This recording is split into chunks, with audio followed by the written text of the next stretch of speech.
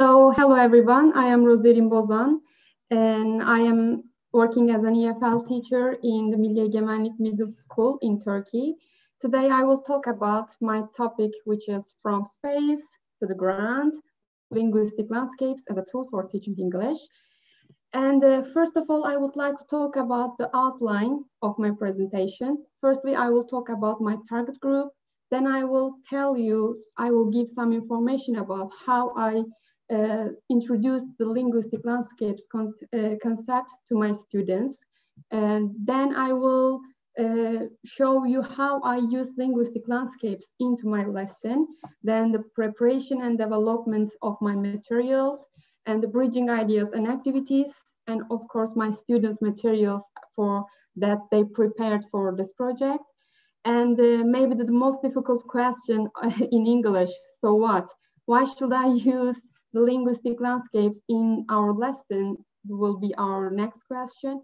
And finally, I will talk about the contribution of the project to me and what do, uh, what do I benefit from this project. So my target group, uh, I had 26 students who are seventh grade and at the age of the uh, 12 and 13, they all uh, live in Silvan, which is a small town in Diyarbakir Turkey, and they grow up in the middle income family, so they couldn't afford to buy many things. And we use EBA. Maybe mo what, most of you uh, know what EBA is, but it's an educational platform that we use for distant education. And I had four hours for this project to that I planned the lesson.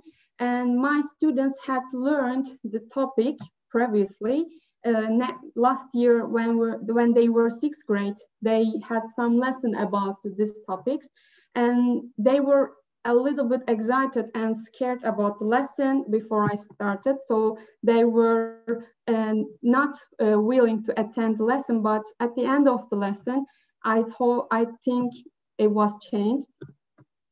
How I introduce uh, the linguistic landscapes so as they are seventh grade, uh, they have never heard uh, linguistic landscapes before. So I started with to introduce it. So I show some information tables, street signs to talk, to show them that uh, they can learn English as well from these tables too. And we talk about uh, linguistic landscapes examples in our town, in Silvan. And actually, uh, after all this, after they get the main ideas, they feel a little bit relaxed and surprised because uh, they have never realized that, oh, teacher, can we learn English with this signs as well? So it was uh, something good for them, I think. So how I conduct linguistic landscapes, how I use it in my lesson. And if you are ready, we will fly to space first. So firstly, to reduce my students' stress, because uh, when I talk English to them, they are like very, they are very stressed and I want first uh, to reduce their stress. And I reminded them the topic. So I had two topics mainly, weather conditions and the planets. Uh, for the weather conditions, I like had 20, uh, 15 minutes. We talk, we listened to songs about weather conditions and we played a weather conditions game. Uh, so I said, you are weather reporter, you will represent the weather kind of, and give the main uh, phrases like, what is the weather like? What is the temperature? How was the weather? And they ask this question to each other as well. After that, we talk about the planets. Uh, they had the main ideas of planets, but uh, they had never uh, the lessons about it. So we talk about the planets, uh, the feature of planet, the size of planet, the uh, even weather temperatures of the uh, planets. And I show a table that I found on the internet again about the Mars weather. And the, maybe the most exciting part, the virtual tour to NASA. We had a virtual uh, tour to NASA. So I will show the some of the pictures from the lesson first picture, as you see, uh, it was about the planet Mercury. And I found a picture, I think if I'm not wrong, I found it in from the Google Images. And uh, there are many information here and I asked them, you see there is Fahrenheit here. What is Fahrenheit? Uh, do we use Fahrenheit in Turkey? And I asked them to co compare the weather in other countries and in our countries as well. So sometimes when I plan a lesson, uh, the lesson can be different from what I think, and it was really exciting for me. And uh, we talk about, we look at the table and talk about the information. After that, I asked them to let's go to the a museum, Rahmi Museum, which is in Istanbul. And uh, the, they had a special part uh, in the museum about the planets. And I showed them pictures uh, to my students and asked them, what do you see? What are they? Uh, what can we use here? Is there anything for us? So they got the main ideas of the museum for planets.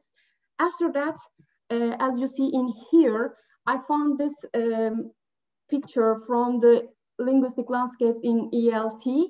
Uh, so I think, if I'm not wrong, they took that photos from a museum, which is in uh, other countries. Uh, ask question, how is the weather in Mars? What do you think? What is the weather like? Is there any uh, wind in Mars, kind of? And I realized that they also asked me question, teacher, uh, where can we find this information? Uh, Mars, is that cold or is Mars that's hot, kind of? And maybe the most uh, exciting part for my students was the virtual tour to the NASA. And I choose one of the, uh, its center and we had a trip to there.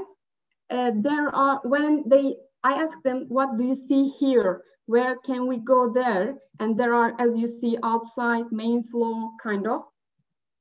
And uh, we travel around the NASA, we go in and uh, we look some other information as well. So there are some information gap here.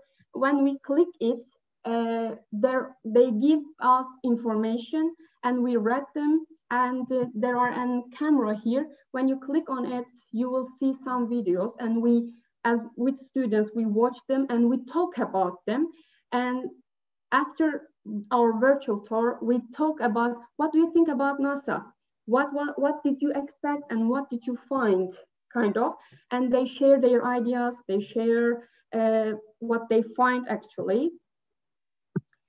So preparation and developments of the materials, I prepared, I take my, I took my uh, materials from the linguistic landscapes in English language teaching firstly, then I uh, look at, looked on the NASA page actually and use Google Images.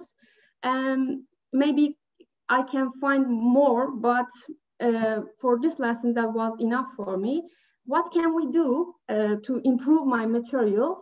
Uh, there are some institutions during I plan my I planned my lesson. I find that there are some institutions that give opportunity to students such as virtual tour, but more prof professionally. Uh, they uh, like they had a museum. They took the students online even and pre uh, present the all features, all places, and give uh, many other informations.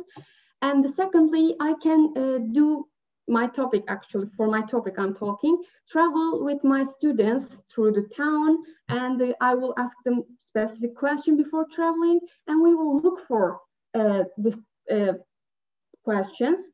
Uh, and finally, maybe I can, I could organize a contest re related to the topic, but as because of pandemic, there, there is a pandemic, uh, I couldn't do those as well. Rosaline, you have two minutes. Really? Oh my God, okay. so bridging ideas and activities, ask my students to design their own planets and they will give information about planets and weathers and they will present it and I will prepare an online museum which has their will, will has their planets as well and I hope one day we will visit that museum face to face. As you see, they designed all these planets. They were free. I put uh, let them free. They can do whatever they want, as you see. And why we choose linguistic landscapes to show my students that English is not limited only with books. Uh, they don't need only exercise to learn English. They can learn English around look, with looking around their environment, and they will learn natural and unconsciously actually.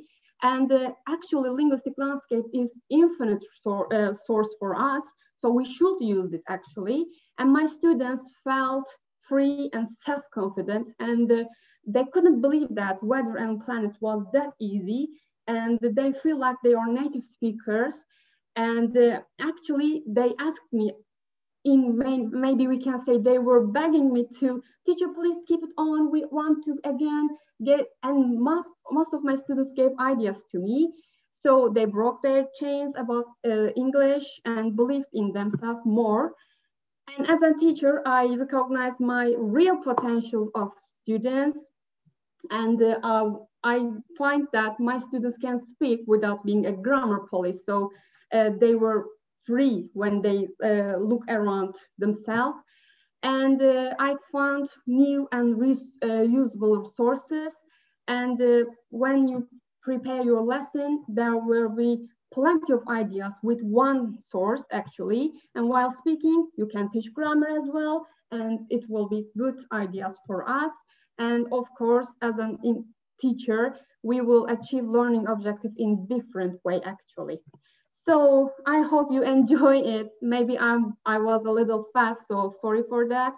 Uh, if you have a question, you can even send me mail, no problem. I would like to share my experience. Thank you very much for your listening.